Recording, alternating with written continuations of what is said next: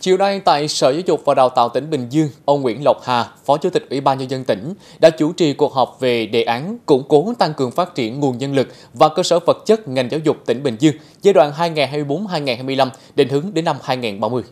Tại cuộc họp, đại diện Sở Giáo dục Đào tạo tỉnh cho biết, những năm qua, Bình Dương có dân số cơ học tăng nhanh, điều kiện cơ sở vật chất, nguồn nhân lực phục vụ giáo dục mặc dù đã được đầu tư rất lớn, nhưng vẫn chưa đáp ứng được nhu cầu học tập của con em trên địa bàn. Chính vì thế, việc thống nhất ý kiến từ các sở ngành địa phương trong tỉnh để thông qua đề án là rất cấp thiết trong giai đoạn hiện nay. Phát biểu chỉ đạo cuộc họp, ông Nguyễn Lộc Hà nhấn mạnh để Bình Dương phát triển nhanh và bền vững, việc đầu tư cho giáo dục là vấn đề cấp thiết, trong đó bằng nhiều biện pháp phải xây dựng trường lớp đảm bảo tiêu chuẩn chuẩn và chất lượng, phục vụ tốt nhu cầu học tập của con em trên địa bàn. Bên cạnh đó, cần tăng cường nguồn nhân lực bằng việc giữ chân đào tạo bồi dưỡng nguồn nhân lực đáp ứng nhu cầu giảng dạy. Ông cũng lưu ý ngành giáo dục cần chú trọng đến công tác xã hội hóa giáo dục để giảm áp lực cho hệ thống trường công lập.